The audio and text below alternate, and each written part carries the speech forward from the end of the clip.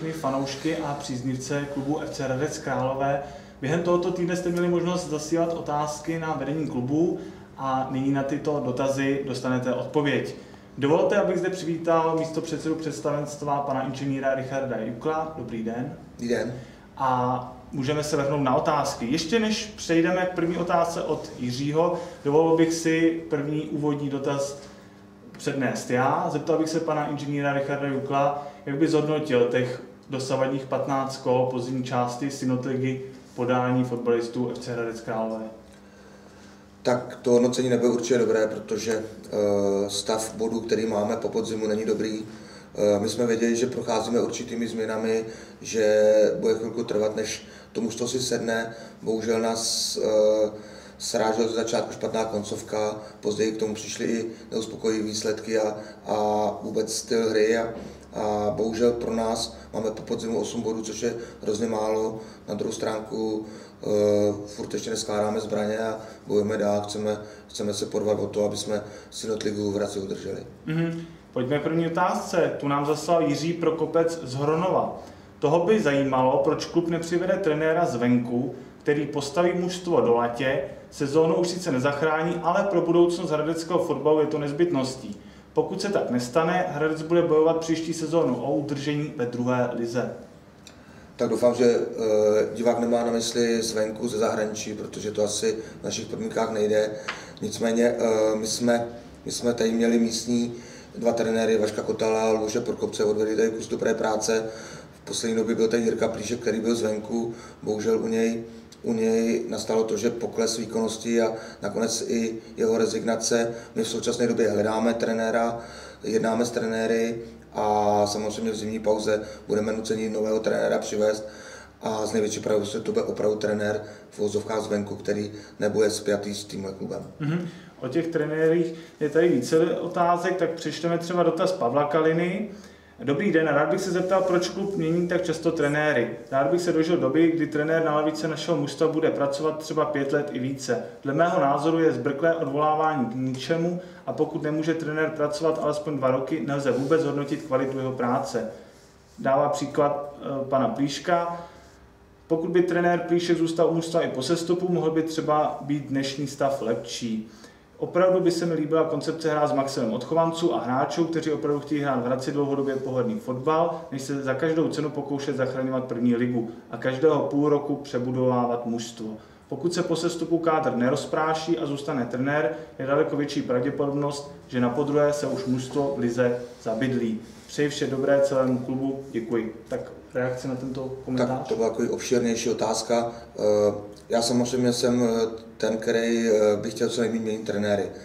Myslím si, že úplně tak často trenéry, trenéři se nemění, když porovnávám s některými jinými kluby v Synotlize.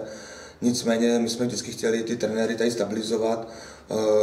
Posledních pět let, tři roky Vašek Kotál, bohužel pan Plíšek tady nebyl tak dlouhou dobu, ale u něj to bylo trochu specifikum, ten tlak od fanoušků, předpokládám asi jiných než ty, mm-hmm. tohle pisatele, byl velký, takže tam došlo u něj k rezignaci. No a Luboš Prokopců byl tady roka půl, my jsme chtěli s Lubošem, měli jsme podepsanou smlouvu na dobu neurčitou, to znamená, my jsme chtěli, aby tady byl co nejdíl. Bohužel ten tlak, eh, který kolem jeho osoby vzniknul, tak ho vedl k tomu, že rezignoval. Ale sám za sebe říkám, vždycky budu radši, když ten trenér u nás bude působit dva i více let, než rok a půl nebo rok. Mhm. Vždycky je to pro tu stabilizaci toho týmu daleko lepší a, a ten trenér se pak vytvoří ten, to zdravý jádro, který, který sebou ponese i výsledky. Eh, my jsme bohužel při nástupu Luboše Prokopce museli volit variantu přebudování eh, kádru, došlo už po sestupu k velké obměně a teď v létě znovu. Eh, je to někdy, je to někdy na úkor i kvality a výsledků a teď se to potvrdilo. Mm-hmm. I třetí dotaz se týká rovněž trenérské pozice. Jedná už klub s novým trenérem, slyšel jsem něco o Frtělovi. Jakýho trenéra by si pan Jukl ideálně přál? Díky za odpověď. Tak jak už jsem naznačil v předchozí otázce, my jednáme s některými trenéry, eh, jakýho bych si přál já, já bych si hlavně přál trenéra, který, který bude úspěšný a bude tady co nejdíl. To jsou moje dva atributy a, a vím, že to je vždycky těžký ke splnění, ale já doufám, že se nám to povede. Mm-hmm. Pojďme dál. Jiří nám poslal tento e-mail, ve kterém píše, Prosím vás o vaši sebereflexi v těchto oblastech. Za prvé, schopnost sehnat nové sponzory, schopnost sestavit tým lidí zabývající se pouze tímto úkolem. Ve struktuře klubu nikoho takového nevidím, tak to je první bod. Tak musím říct, že eh, co se týče schání nových sponzorů, ta situace není opravdu jednoduchá. Česká ekonomika je na tom tak, jak je. My se snažíme ty sponzory zhánět. Je pravdou, že my jsme vypsali výběrové řízení na obsazení této personalistiky a musím říct, že zase moc lidí se nám na to nehlásí. Eh, pokud eh, postavíte tuto činnost do role motivační, že, že jste závislí na tom, že musíte někoho sehnat a ne, že budete jenom brát, ale i přinášet, tak eh, by se asi pan pisatel divil na úspěšnost nebo na počet zájemců je téměř nulový, protože ve chvíli, kdy zjistí, že musí nějakou činnost odvést, aby za to byl honorovaný, tak se do tomu dvakrát moc nikomu nechce. Mm-hmm. Druhý bod od Jiřího. Jak silná je vaše pozice v zákulisí fotbalového svazu? Mám pocit, že jsme jak rozhodčím, tak i jiným bafuňářům na obtíž. Žádný respekt. Tak jaká je moje pozice, eh, to se dá těžko hodnotit. Já musím říct jednu věc, že eh, to fotbalové prostředí vás vnímá z několika aspektů, že jste klub, který startuje v Synotlize, což je rozhodně dobrý počinek, musíte mít dobré zázemí, který u nás absolutně není. A pak třetí osoba, možná, nebo třetí atribut je možná moje osoba, nevím, jsem eh, v dozorčí radě z TESu, což je velice významná funkce, která ve si podstatě řídí prostředky pro všechny kluby v Synotlize a druhé lize. Jsem v komisi mládeže a ve si podstatě nemůžu hodnotit to, jak vnímají druhý, ale nemám problém s kterýmkoliv jiným činovníkem jiného klubu komunikovat a máme k sobě vzájemný respekt. Co se týče rozhodčích, tak tam je ta situace trochu, trochu zvláštní. Já bych Eh, nebral v potaz to, že nám nepřejí, že jsme v neoblibě, ale já furt říkám, že my jsme jenom návštěvníkama v té synotlize, protože s tím zázemím a vším, co tady ten klub má, tak se nemůže rovnat klubům, který pravidelně v té synotlize startují. Mm-hmm. To za to vás také vyzývá, aby se oznámkoval svůj komplexní práci pro klub. Tak jestli něco k tohoto, tohoto bodu Když bych se oznámkoval jako ve škole, tak Přesně tak. já nevím, já jako ze školy už jsem dost dlouho, tak bych se nerad známkoval. Já se snažím tu práci dělat co nejlíp, snažím se pro ten klub maximálně možně dělat svou činnost tak, aby, abych byl prospěšný a, a Eh, samozřejmě každý dělá chyby, já jsem si těch chyb taky vědomý, ale vždycky to dělám s cílem toho, aby ten klub prosperoval. Mm-hmm. A ten čtvrtý bod se týká taky těch uh, nedostatků, případně slabin. Jestli vidíte ve své práci v řízení klubu nějaké nedostatky či slabiny, se ptá, ptá se ta Jiří a je to jeho poslední otázka. Tak uh, možná, možná mojí slabinou je, že neumím delegovat, že prostě jsem se hodně věcí snažil dělat sám. Postupem času už se to, už se to lepšilo. Zase na druhou stránku, když si některé věci dáte do kompetencí jiných osob a nemáte nad něma dostatečný, dostatečnou kontrolu, tak pak se stane, že, že ty věci neběží tak, jak byste si člověk představoval. A možná to i vyústilo v tom sportovním úspěchu, protože já se přiznám, že jsem během jarní pauzy neměl, nebo jarní, eh, pardon, letní, hmm. letní přestávky a přípravy neměl čas prakticky vidět ani jeden zápas přípravný. Z toho pohledu jsem šel do synotligy s tím, že jsem věřil tomu, že to mužstvo, ač bylo hodně pozměněný, tak eh, bude šlapat. Začátek třeba nebyl tak, tak špatný, ale pak se ukazuje, že rozhodují osobnosti a my jsme až takový neměli. Mm-hmm. Dobře. Dále přišla řada otázek na situaci ohledně výstavby nového stadionu. Možná bych za všechny vybral e-mail od fanouška Luboše z Hradce Králové. Prosím o jednoznačnou odpověď. Jak bude posuzovat fotbalový svaz problém s výstavbou stadionu a s tím související zařazení mužstva do soutěže? Pokud vím, tak všechny možné i nemožné výjimky jsou vyčerpány. Takže i v případě zachráněné ligy by nás sestup do nižší soutěže stejně čekal. A kdo ví, zda pouze o jeden stupeň. Neměli by se pravidelně účastnit těchto diskuzí i kompetentní lidé zodpovědní za přípravu a realizaci stadionu z řad zastupitelů města, a ještě jeden navazující dotaz. Kdo vůbec bude v novém zastupitelstvu za problematiku výstavby stadionu zodpovědný? Děkuji za odpovědi. Takže první dotaz se týká vůbec v jaké fázi výstavba stadionu a zda se účastní zastupitelé města těchto jednání se svazem. Tak uh, těch otázek tam je samozřejmě zase víc. Já začnu asi od začátku, že um, my jsme žádné výjimky nedostávali.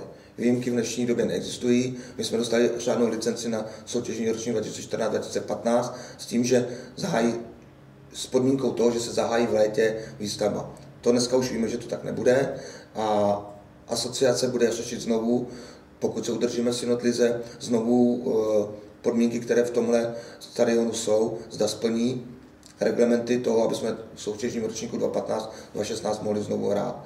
Eh, nese to sebou celou řadu úprav, která jsou splnitelná, ale je jenom otázkou toho, jestli svaz nám ještě bude chtět slyšet na to, že ta výstavba, která byla plánovaná na začátek roku 2015, nebude. V dnešní době je to o tom, že eh, město si nechalo zpracovat eh, studii proveditelnosti na eh, nový stadion, který by rekonstruovalo vlastními silami. Tato studie by měla být hotová do konce ledna a na základě té studie se rozhodne, jak ten proces celý bude probíhat. Já za sebe musím říct, že v tomhle pan primátor byl celkem důsledný a razantní a chtěl to opravdu ještě, ještě za minulý funkční období ke konci udělat, aby, aby k tomuhle došlo a já doufám, že ty, ty sliby politiků, když uh, říkali, že chtějí stadion, takže to bude platit i, i v tomhle funkčním období a, a já pevně věřím tomu, že tentokrát už se toho stadionu dočkáme. Uh-huh. A ta jedna z otázek byla, jestli se účastní někdo z řad zastupitelů města těch jednáních ohledně toho stadionu, třeba ve stavu s Fačer. Eh, ve vztahu s Fačerem jednal vždycky pan náměstek Vedlich a pan eh, inženýr Jiří Svátek.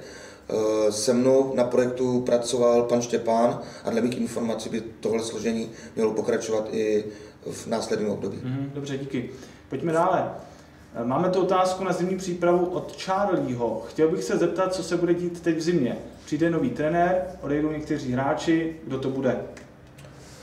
Tak z největší pravděpodobností nový trenér určitě přijde a někteří hráči budou muset odejít, někteří zase budou muset přijít, ale za sebe říkám, už to nebude fluktuace taková, která byla teď po, dva, po, dva, po dvě přípravy letní. Chceme jít cestou stabilizace kádru a minimálních změn, co se týče dovnitř. Mm-hmm. I další otázka od Michaela 85 se týká rovněž hráčského kádru. Hledá vedení už nové posily, případně na jaké posty? Budou to posily odpovídající první lize, nebo už se počítá stařka jistým sestupem? Díky. Tak my samozřejmě už uh, hledáme, jednáme a určitě to budou posily, které by nám měly pomoct tu synotligu udržet. To znamená, chceme hráče, který mají nějakou kvalitu a ne už jít jen do kvantity. Nějaké konkrétní posty? Uh, tak všichni ví, že nás hodně tlačí bota na postu levého obránceho. Uh, myslím, že potřebujeme jednoho stopera a asi z největší pravomocí ve středové řadě potřebujeme posílit. Mm-hmm. Příznivec otroku s přezdívkou Nebraska nám zaslal následující e-mail. Dobrý den, přečetl jsem si v novinách rozhovor s trenérem Kotalem, který má podle mě pravdu. Cituji. Z mého pohledu je třeba škoda, že odešli zelený s Poděbradským, kteří už zkušenosti s ligou měli a nahradili je hráči, kteří zase tolik otrkaní nebyli. Na můj vkus byl v Hradci hráčský pohyb v létě příliš velký. Konec citace. Já k tomuto dodám dalšího hráče, Voltra. Kdo může za to, že tihle hráči u nás nehrají? Proč došlo v létě k tolika změnám? Hodnotíte to zpětně jako chybu. Díky za reakci. Tak eh, samozřejmě, jak už jsem zmínil v předešlým, eh, těch změn bylo hodně. My jsme eh, po dohodě se sportovním úsekem došli k tomu, že je potřeba ten kádr ještě trošku pozměnit. Na některé věci jsem se třeba díval jinak, ale vždycky to bereme jako celek a, a jdeme nějakou koncepci. To znamená, došlo se k tomu, že eh, Jarda Zelený potřebuje změnu a s tím já si myslím, že ano, protože u Jardy byl takový, on má eh, velké výkyvy v eh, výkonnosti a chtěli jsme vědět, jak bude reagovat jinde. Co se týče Jirky Poděbradského, ikona Hradecká, tam se rozhodli, protože Jirka už nebude platným členem základního kádru, chtěli mu dát šanci, že může hrát jinde, proto odešel.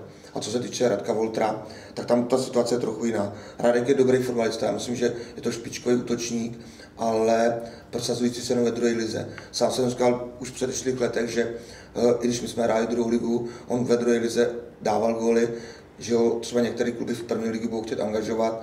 Eh, nebylo to tak. Já si myslím, že on ještě to má před sebou, ale říkám, vždycky, když hrál v Hradci, tak to nebylo ono. Kamkoliv šel jinam, tak dával góly. V Hradci se mu tolik nedařilo, ale uh, nic to neubírá na tom, že Radek útočník dobrý je a třeba se v Synotlize prosadí, byť se mu to zatím nepovedlo. Mm-hmm, dobře. Pet, Petera 55 se ptá, dobrý den, počítá klub v nějaké pozici s Lubošem Prokopcem? Myslím, že by byla škoda, kdyby takový talentovaný trenér u nás nepůsobil. Díky a hodně štěstí. Tak všechno bude záležet na tom, jestli Luboš bude chtít u nás nadále pracovat. My samozřejmě jeho služby chceme využít. Dokonce, když jsme ho angažovali do, na trenérský post a mužstva, tak jsme byli domluveni, že to nemění nic na jeho pozici v klubu, že pro ten klub hodně udělal. A kdyby každý jako Luboš udělal pro ten klub tolik, co on, tak si myslím, že, že bychom byli možná ještě trochu jinde, ale uh, říkám, my o něj zájem budeme mít a v zimní pauze to všechno budeme řešit. Mm-hmm. A už máme tu poslední dotaz, ten přišel od Jarky. Dobrý den, zajímalo by mě, jestli vedení věří reálně v záchranu. A co se stane, když tým nevyhraje proti Brnu? Díky moc. Tak já v záchranu věřím, když vím, že to bude těžký, ale zase na druhou stránku, když si zpětně vyhodnocuju zápasy, které jsme odehráli, tak jsme byli jak na houpačce, protože z mého pohledu zvládnout ty klíčové utkání hlavu, hlavu a Budějovice doma a, a ty zápasy, kde jsme, kde jsme opravdu byli výrazně lepšími mužství, tak eh, ten bodový zisk by byl daleko lepší a já věřím, že na to navážeme a že, že se o tu záchranu ještě popereme a že se možná některý ještě budou divit. Mm-hmm. A tomu zítřejšímu zápasu s Brnem? Pro nás je to start do jarní části sezóny a, a já věřím tomu, že si to kluci uvědomují, že jedině na základě dobrého výsledku s Brnem budeme mít e, reálnou šanci přezimovat na pozicích takových, kde, nebo na pozicích ne, ale šanci takovou, že tu synotligu uchráníme a zachráníme. A já jsem přesvědčený o tom, že tam kluci nechají všechno. Mm-hmm. Tak já vám poděkuji za váš čas, eh, za vaše odpovědi a příštích odpovědích vedení zase na viděnou. Děkuju a naschledanou. Naschledanou.